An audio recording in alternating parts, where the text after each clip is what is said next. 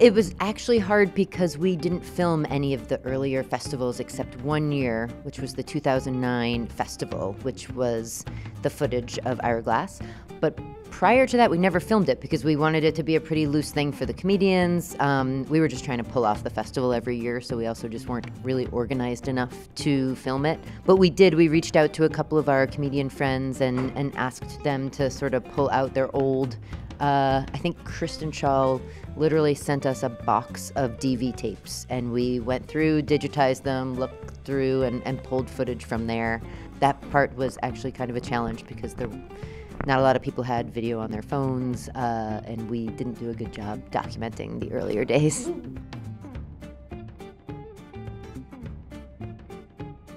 Well, I think in general, there's now so many outlets. You know, I think before, like, I mean, in general, in comedy, I think before you had to figure out how to, like, maybe be presented on one of the like four TV channels, and then and now there's just like endless avenues, which is probably in some ways great for people uh, because you you can be your own thing that that, that makes something and you know uh, as well as hard because there's so much out in the world.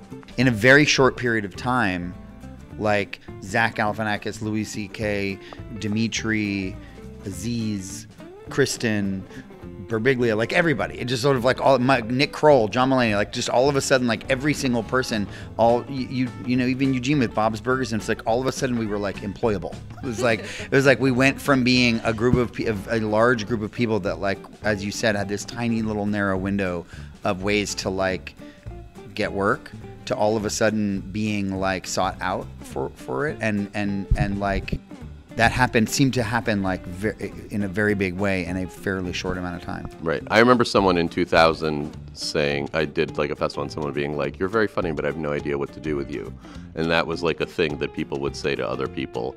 Uh, that they, or like Reggie, they thought made sense. Reggie Watts, who is sort of like this, you know, same kind of thing. Like he's so brilliant, but like he's like Edinburgh, you know, like go take him to Edinburgh, but you know, and then all of a sudden he's like everywhere, and it just it was interesting. And Tig too. I, I'm thinking back to our poster of the first year of the festival, and all of those names that were on it from what now 12 years ago. They are all you know they've either had their own TV shows and and are definitely more mainstream. But yeah, Tig Yeah. was another person that popped into my brain. Yeah. Chelsea Peretti, Hannibal, even you know. Yeah, yeah. Everybody, everybody. Pete Pete Holmes. Yep. Kumail, Kumail. I can't Yeah. believe we're forgetting Kumail. Yeah. One of the fun things about the movie, and I think i- is like you kind of go down a rabbit hole as you start to like look at these people and their careers, and the and th- that are all kind of aggregated in the festival. Is that is this crazy, like maze of connection that could that kind of takes you back through all these projects and you could map it through m- not just the the the the success of it, but also through the media, ch- the change in the technology, truly, from D- DIY sort of home videos. When we were started doing Stella, um, when we would make videos, you had to, we had to screen them on a screen. We had to project them onto a screen. So it's like the media, and then like you know, Eugene wrote was wrote books. A lot of these people write books. A lot of these people make make let go back and make comedy records and stuff like that. So there's like it, it, it's a group of people that like working in all sorts of different ways.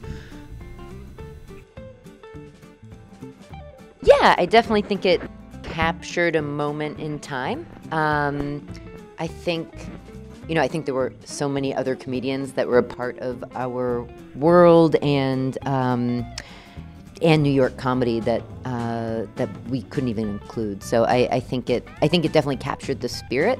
I think your way of describing it, especially if we use it as a quote on a poster, sounds nice.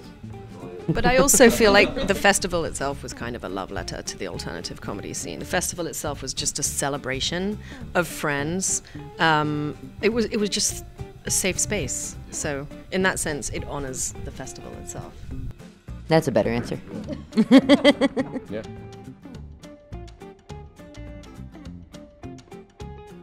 I think everyone was very excited to share their story of how Eugene is sort of the glue within that comedy community. Um, yeah, there were even more comedians that wanted to share stories, and it ended up just being purely a logistical thing um, as to why we couldn't include more people. But uh, yeah, everyone was very excited to.